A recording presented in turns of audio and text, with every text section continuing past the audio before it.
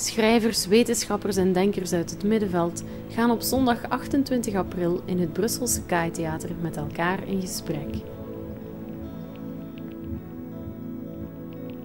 Een duurzame samenleving, sociaal en ecologisch. Blijft het een verre droom of is het een realiteit in wording? Vernieuwende ideeën en positieve alternatieven komen aan bod tijdens de derde editie van Het Groene Boek. Consumptie heeft onze identiteit gevormd. Daarover zijn Paul Verhagen en zijn Duitse tegenhanger Harald Welzer het alvast eens. Maar hoe maken we de switch naar less is more? Samen met de romanschrijver Marcel Meuring gaan ze op zoek naar antwoorden. Naast volop consumeren moeten we ook langer en harder werken. Of toch niet?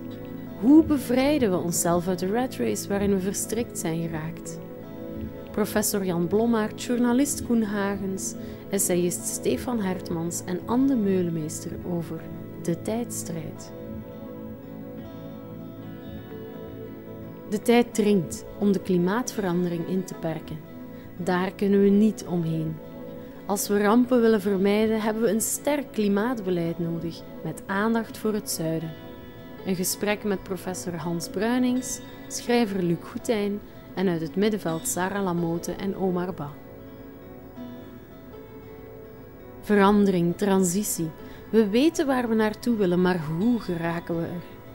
Anneleen Kenis, Rick Pinksten, Erik Corijn en Jim Baten van het ministerie van Ideeën kijken elk op hun manier naar de toekomst. En van wie moet het komen? Indignez-vous. Een oproep van een 90-jarige heeft jongeren wereldwijd wakker geschud. Wat hebben verschillende generaties elkaar te vertellen over engagement door de jaren heen? Aan tafel met Paula Semer, Koen Peters, Maud van Houwaard en Fikri El Niemand minder dan Nick Balthazar loodst ons door de dag heen.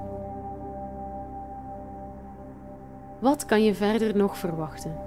Een spraakmakende documentaire, een boekenruil en een slotlezing van de Italiaan Ezio Manzini, expert op vlak van sociale innovatie en stadslandbouw.